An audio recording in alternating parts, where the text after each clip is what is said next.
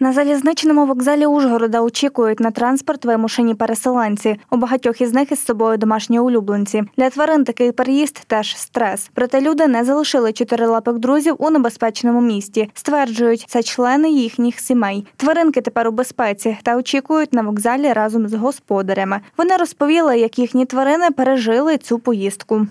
Хорошо про- перенес поездку. Держался. Добре. У нас и котика два У нас даже два есть. кота. Один Вот. Большой 10-килограммовый, другой чуть, Чуть поменьше 6-килограммовый. Ну испугались в поездах, Приняли испугались хорошо, все просто. отлично. складно, нервував взагалі. І ми також дуже дуже складно, бо дуже багато людей на потяг сіли. Мабуть, в шість разів більше, ніж може потяг вивезти. Це частина нашої родини, ми не можемо залишити ніяк. Без нього ми б не поїхали. Якщо б сказали, не можна до потягу його взяти, то ми за- е, залишилися разом з ним. Очень тяжело, он очень пугливый, мы так намучились, мы с Киева ехали.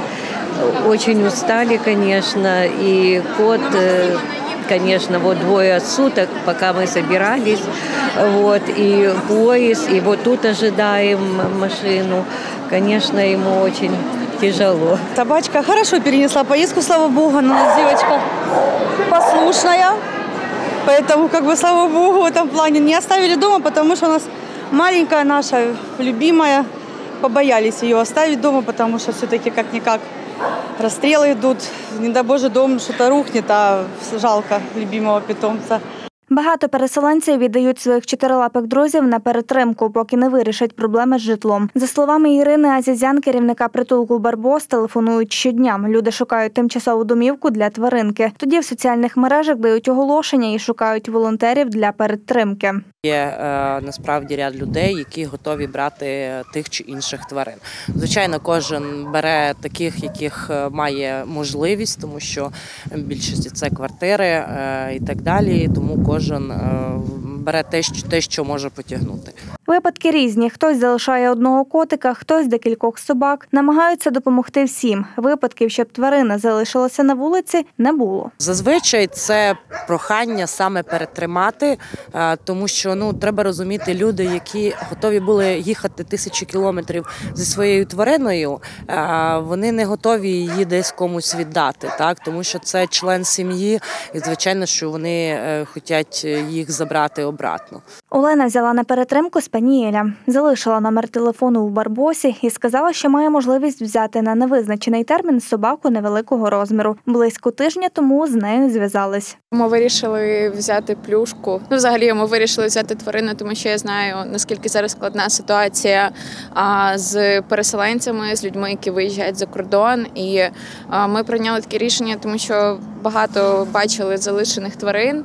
А, і ми хотіли якось допомогти, тому що тваринам теж страшно, вони теж живі створіння. Господарі приїхали з Києва та орендували житло, у якому не можна проживати з тваринами. Попередньо домовились про те, що плюшка перебуватиме на перетримці до 12-го числа. Проте Олена готова прихистити собаку настільки, наскільки необхідно. Почувається песик добре. Вона адаптувалася дуже швидко, тому, що коли вона прийшла додому, вона одразу лягла на ліжко і вона одразу поводила себе дуже вільно і впевнено.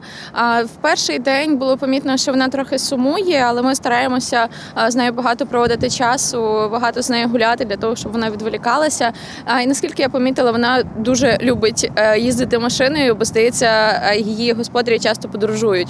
Тому вона без проблем заскакує в машину і готова їхати будь-куди, лиш би вдома не сидіти.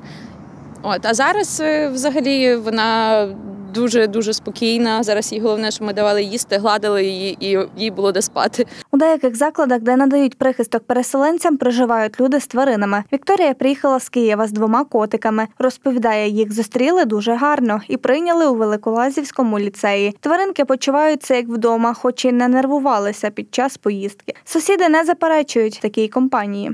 Вони пережили це все. І дорогу, таку страшну дорогу, страшна була. От, і Ужгород пережили, але тут вони себе почувають ну, в небезпеці вдома. Це домашня така обстановка, настільки, може, дійсно це люди, може це аура, може це не знаю, це ну не знаю, як об'яснити навіть. Вікторія до останнього залишалася в Києві лише заради кішечок. Вони наші діти, і я б їх ніколи не покинула. Але така ситуація була, що ми вже просто були на грані. Ми просто були вже, я чувствую, що ми там можемо погибнути. І е, ми тільки е, в першу чергу все взяли з собою е, для кішечок. Але у нас в Ужгороді все було, ми тільки з поїзда вийшли, все було, зоотовари повністю було, не забезпечували. Волонтери працюють на 100%. На кордоні очікують переселенці, які шукають прихистку в інших країнах. Вони взяли домашніх улюбленців з собою. Чекають з ними на КПП Ужгород Вишня Нємецьке. пережив дуже погано.